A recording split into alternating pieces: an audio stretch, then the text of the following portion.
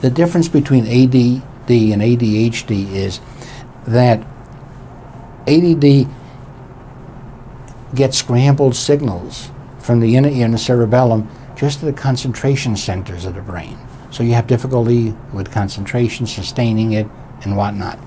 And you get scrambled signals going to the motor center or the activity center of the brain so that you get overactivity, hyperactivity, and impulsivity.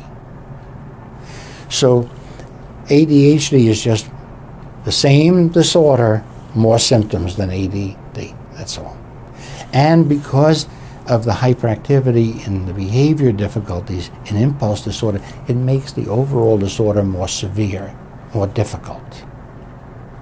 And sometimes you need to combine treatments to uh, handle it better. I almost said cure, but you can cure the symptoms without curing the disorder.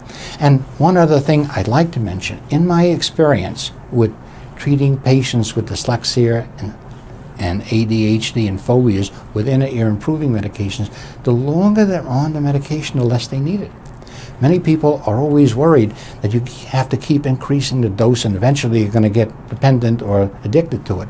My rebut is you never keep increasing the dose. That's a side effect. That's a danger.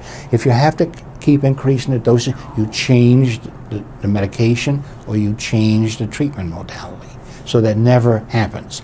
If you do what I say and you treat people, what happens is as they're on the medication longer and longer, the medication actually teaches the brain how to function as if they were on a medication over a period of time.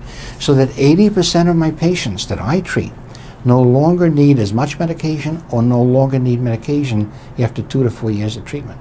The longer they're on treatment, the less they need it. The complete opposite of what many people are worried about now.